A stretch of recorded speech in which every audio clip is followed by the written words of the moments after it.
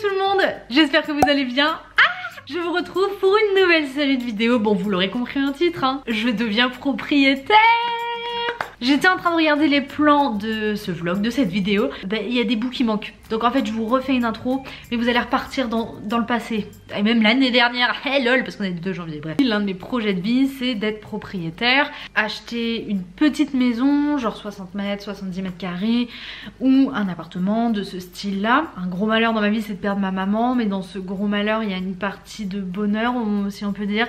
C'est que j'ai eu un bel héritage, et je me dis qu'acheter dans la pierre, acheter mon chez moi, ma maman serait très contente que euh, je profite de cet argent pour ça. Il y a quelques jours, j'ai commencé à chercher euh, mon chez moi, donc un appartement. J'y ai vraiment passé toute une soirée et dès le lendemain, parce que j'avais envoyé des messages, etc., des mails, dès le lendemain, j'avais des propositions de visite, etc. Euh, j'ai fait ma première visite d'appartement vendredi. Je vais vous parler dans le plan suivant qui lui a été filmé. Donc hier je passe euh, globalement euh, toute la journée à chercher euh, plutôt des appartements parce que je me rends vite compte, enfin c'est possible d'avoir une petite maison dans mon budget mais c'est des maisons à construire et du coup bah faut que j'attende un an et demi, deux ans. Je vous avoue que j'adore mon papa mais j'ai envie de quitter ce cocon, je veux dire familial, ce cocon paternel en tout cas. J'ai envie d'avoir mon chez moi, j'en ai vraiment besoin maintenant surtout que j'ai un amoureux, enfin bon bref j'espère que j'aurai toujours un amoureux quand je publierai cette vidéo. Hein. Et hier matin, je tombe sur un appartement sur lequel j'ai un énorme coup de cœur. 45 mètres carrés, euh, enfin 44 précisément, dans Rennes, mais en fait t'as pas l'impression d'être dans Rennes. Puisque la vue de l'appartement, c'est tout simplement de la nature, de l'herbe. Et en fait ça ne changera pas, il y aura pas genre un immeuble qui va pop ou j'en sais rien ni même un lotissement, j'en sais rien. Non, vraiment, ça va rester comme ça. Je me dis, bah faut que je le visite, c'est pas possible. Je l'ai visité donc ce matin avec mon papa énorme coup de cœur énorme coup de cœur vraiment donc là cet après-midi je vais envoyer un mail de proposition d'achat, je vais même pas négocier le prix. J'ai eu aussi hier un courtier au téléphone donc du coup je pense que je vais travailler avec lui très clairement. Et donc le courtier je lui ai déjà envoyé un mail pour dire que j'ai repéré un bien et que j'avais un coup de cœur, s'il pouvait me faire une simulation des mensualités etc. Et clairement je vais faire ma proposition d'achat cet après-midi. Donc voilà, croisez les doigts pour moi mais après ça sert à rien parce que vous, verrez cette vidéo, j'aurai eu la réponse. Mais ce qui est cool c'est que c'est un appartement qui est récent, il a moins de 10 ans. Donc au niveau énergétique déjà il est top, euh, au niveau emplacement il est génial, au niveau travaux en fait globalement normalement il n'y a rien à faire. Je peux déposer mes valises. Sauf qu'on va faire avec mon papa si j'ai l'appartement. Pendant plusieurs semaines on va faire des petits travaux de décoration pour glow up l'appartement qui soit vraiment à mon goût, lui donner un peu de peps parce que pour l'instant il est très blanc, très neutre, ce qui est très bien mais comme ça, du, enfin voilà, moi j'ai envie de lui donner de la vie à cet appartement là. J'ai un petit pincement au cœur parce que c'est un appartement en rez-de-chaussée, je fais exprès de chercher au cas où je vais adopter un chat ou un chien, ou les deux, soyons fous. Je pense à mon pout pout et que je sais que cet appartement, il aurait, enfin il aurait pu y vivre très clairement. Petit pincement au cœur quand je pense à ça, faut pas que je pleure. projet de cet après-midi, j'ai déjà envoyé un mail au courtier pour qu'il me refasse une simulation et le prévenir que j'ai potentiellement trouvé un bien en moins de 48 heures. Cet appartement il est en vente depuis deux semaines et en fait euh, cette semaine il y a eu 5 visites dont 3 hier, je peux carrément pas attendre et je peux pas négocier non plus. Si jamais j'ai cet appartement, eh bien vous allez suivre les travaux de décoration, l'emménagement, ma nouvelle vie en fait. C'est là que je vois que je suis un peu un bébé, je sais toujours pas faire une déclaration d'impôt. Et là, je suis en train de chercher un modèle de lettre pour faire une offre d'achat. Je sais pas comment on fait. Bon, allez, je me lance Pouh Vos noms et prénoms. Euh... J'essaye de me convaincre. Ça va le faire. Salut, ici la moi du futur. Ne vous inquiétez pas, c'est juste que je me rends compte que j'oublie de vous donner des infos au fur et à mesure. Comment j'ai fait pour trouver un appartement si vite et euh, sans avoir à chercher sur 1000 sites différents?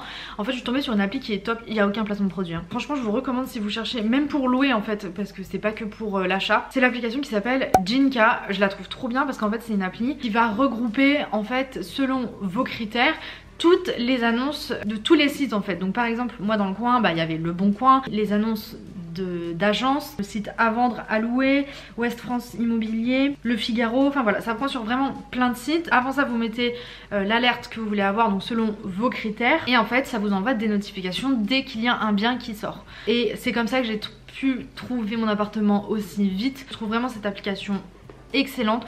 Je suis toujours dessus au cas où. Voilà, on peut mettre la zone de recherche, on peut mettre le budget qu'on a. Bon là moi j'avais mis un budget hyper large mais voilà. La surface qu'on veut, pareil, j'avais mis hyper large. Le nombre de pièces minimum avec le nombre de chambres minimum. Enfin bref, on peut mettre plein de choses.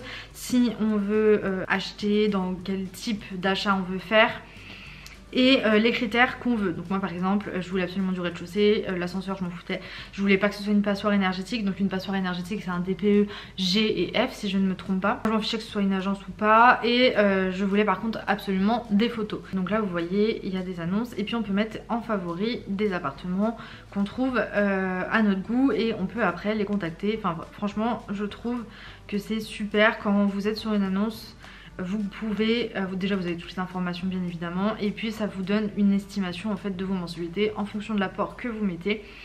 Ça vous donne le coût du projet avec une estimation des frais de notaire. Enfin franchement je trouve cette application excellente. Je vous la recommande grandement si vous recherchez un bien à acheter pour le coup. Euh, je la trouve top et ça met aussi les projets... Euh, de biens de construction en fait. Pour le courtier, comment je l'ai trouvé? En fait, je ne l'ai pas cherché. Euh, justement, comme j'utilisais l'application Jinka, ça m'a demandé si je souhaitais passer par un courtier. En fait, via l'application, ça m'a renvoyé à un courtier qui, avec voilà, on s'est appelé, on a fait des visios et en fait ça a matché, le feeling est passé, moi les frais ça m'allait, il n'y avait pas de soucis et j'ai vu qu'il comprenait totalement ce que je cherchais. J'ai pas cherché plus loin un autre courtier, top. Donc je suis passée par Jinka aussi, après des, courtiers vous pouvez en trouver un peu partout j'imagine. Bon aujourd'hui est un autre jour et ce matin j'ai visité un second appartement avec mon chéri, il m'a accompagné mais euh, j'achète toute seule. Hein. Cette fois-ci c'était un T3 qui se situe en dehors de Rennes mais dans Rennes Métropole donc pas très loin. 63 mètres carrés je crois, 14 000 euros plus cher pour une chambre en plus. Honnêtement j'ai pas eu de coup de cœur, j'ai trouvé qu'il était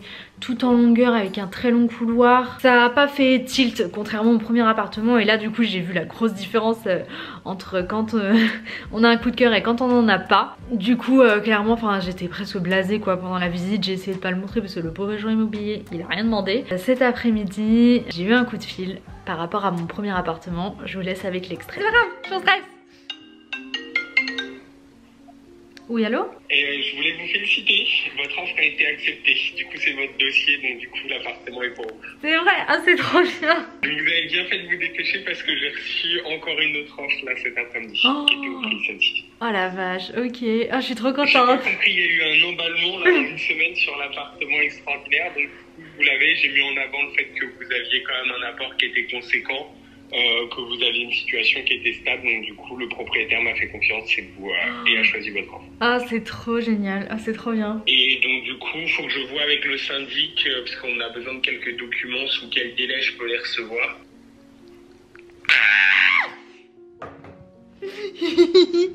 Il y en a part. Il me faut le prêt. Je suis trop contente. Bah vas-y, je suis content pour toi. tu vas pas pleurer Non. Oh, tu Trouvez-vous donc voilà, donc j'ai appris aujourd'hui que j'ai été sélectionnée parmi trois personnes qui avaient fait une offre euh, sur l'appartement sur lequel j'ai le coup de cœur. Donc euh, c'est mon offre qui a été choisie. Je suis trop trop trop trop contente parce qu'en plus c'est pas parce que j'ai proposé plus cher. Donc euh, j'ai vraiment eu de la chance pour le coup. Je suis vraiment hyper heureuse, enfin je me sens hyper chanceuse de, de pouvoir acheter aussi jeune, toute seule. Et en plus sur Rennes, ça j'aurais jamais cru, un appartement récent. D'ailleurs celui de ce matin était plus vieux, enfin bref il y avait, plein de petites rénovations à faire. Enfin, même pas mal, je pense que accumuler euh, money money quoi, donc euh, flemme. Maintenant ça va avancer, on est le 2 janvier, je peux vous dire que l'année commence bien. Donc je suis trop contente de vous emmener dans cette aventure parce que là l'appartement euh, tel quel, il est largement habitable, mais on va le là ça va être la partition de la paperasse. Et du moment où il va falloir lâcher de la thune. A bien un truc que je trouve euh, fou, complètement fou, c'est la vitesse à laquelle c'est allé. Dites-vous que ça fait même pas une semaine que j'ai commencé mes recherches. Après j'ai eu du bol, j'ai eu un gros coup de cœur sur un appartement qui euh, est dans mon budget et, euh, et j'ai été choisie. Donc maintenant il faut vraiment croiser les doigts pour que une banque accepte de me faire le prêt. Mais ça c'est pas moi qui vais gérer, c'est le courtier. Je suis trop contente. Et je vais pas, je vais pas pleurer. Pas tout de suite, quand j'aurai les clés.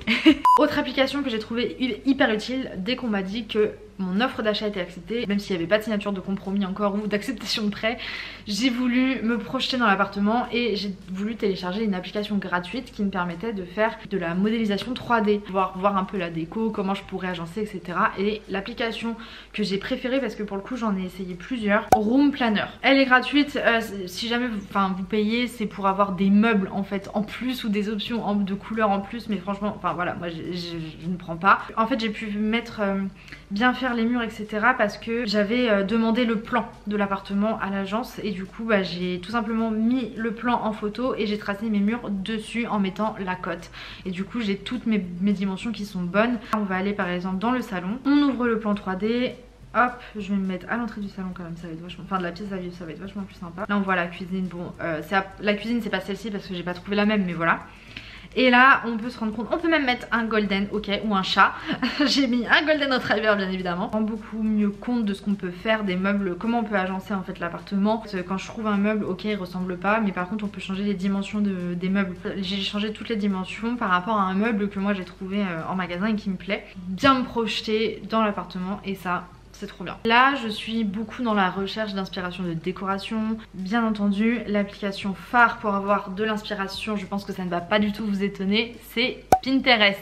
Donc voilà pour les applis euh, que je vous recommande, que moi j'utilise et que vraiment j'adore, qui m'aident vachement dans le projet. Hello hello Nouvelle journée, nouvelle aventure. Je suis rentrée plus tôt du travail aujourd'hui parce que j'ai littéralement dans 4 minutes une visio euh, avec le courtier avec qui je vais travailler. Un peu, stressée parce que je me dis ça, avance, c'est cool et il faut que ça avance de toute façon parce qu'il faut que je recontacte l'agent immobilier. Mais vas-y, on, est dedans quoi, ça y est, ça fait bizarre, ça fait un peu peur.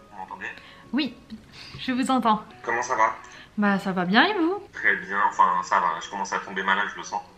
Rendez-vous terminé, euh, ça a duré plus d'une heure mais c'était hyper intéressant, hyper rassurant aussi sur plein de points, je suis très contente, ce courtier est vraiment adorable, ça, ça sent très bon, ça sent un petit parfum de fleurs. Euh. Et salut, un autre jour, une nouvelle aventure. Bon ça n'a aucun sens, je suis habillée, euh, je vais faire ma valise en même temps que, que vous là. Je voulais vous donner des petites nouvelles parce qu'en fait en ce moment, pas en stand-by du tout, ça avance, ça avance bien même, mais on est dans les moments chiants, oui les moments de la paperasse et des coups de fil.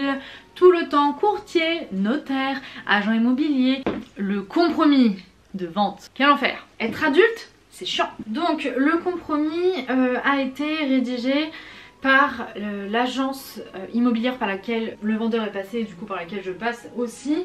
Chose qui ne se fait pas habituellement, enfin c'est pas le meilleur cas, c'est ce que m'expliquait le courtier parce que bah, les agents immobiliers restent des agents immobiliers et en fait le mieux c'est quand c'est le notaire du vendeur qui rédige le compromis de vente.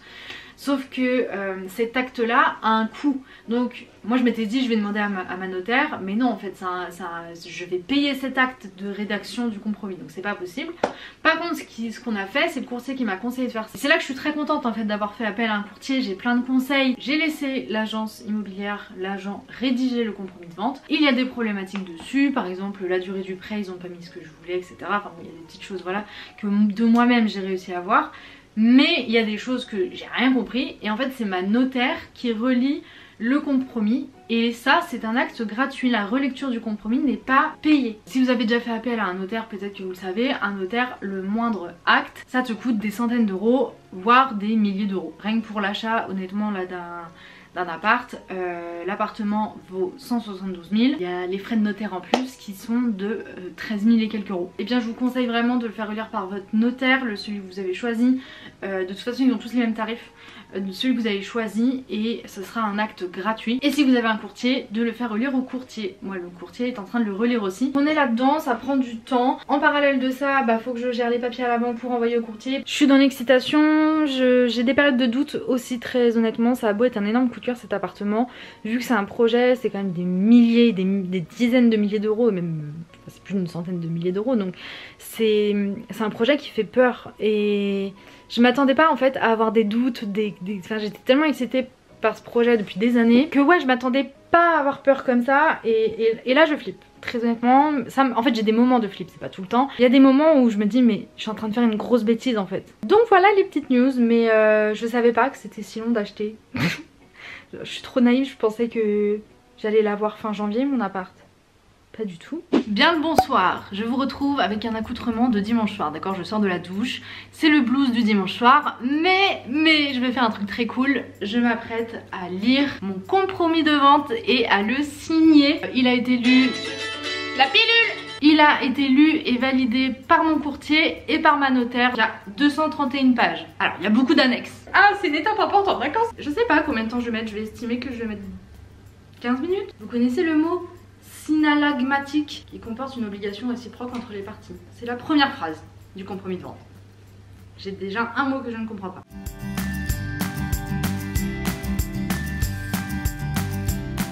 Ça y est, je viens de tout lire, euh, le plus important très clairement. On va signer, c'est parti? Oh, Ça y est, j'ai signé. C'est fait J'attends toujours des nouvelles du courtier qui est actuellement en contact avec 5 banques. On attend, on croise les doigts parce que c'est un peu la dernière étape, l'étape cruciale, j'ai envie de dire, c'est de réussir à avoir un prêt qui me convient et déjà de juste réussir à avoir après. Aujourd'hui est quand même une journée euh, mine de rien importante puisque j'ai rendez-vous cet après-midi à cuisiner là. J'ai pris la décision, j'ai réfléchi ça fait peut-être une semaine, une semaine et demie, de refaire entièrement la cuisine de l'appartement euh, avant que j'y aménage. Au début je m'étais dit bon je la referai pas, elle est quand même bien. Après je m'étais dit bon je la referai mais pas tout de suite dans les prochains mois. Et après je me suis dit non mais en fait si je la refais autant la refaire maintenant une cuisine. C'est quelques milliers d'euros mais j'ai encore de l'argent de côté. Mais c'est quelques milliers qui vont me faire beaucoup de plaisir. Donc j'ai rendez-vous cet après-midi pour ça. J'ai déjà eu le monsieur euh, avec qui j'ai rendez-vous cet après mon téléphone hyper sympa. Je sais plus comment il s'appelle moi, Jean-Michel? Oh je sais plus. Mais il a l'air hyper sympa. Sachant que moi je vais faire des économies dans le sens où je ne demande pas la livraison ni la pose.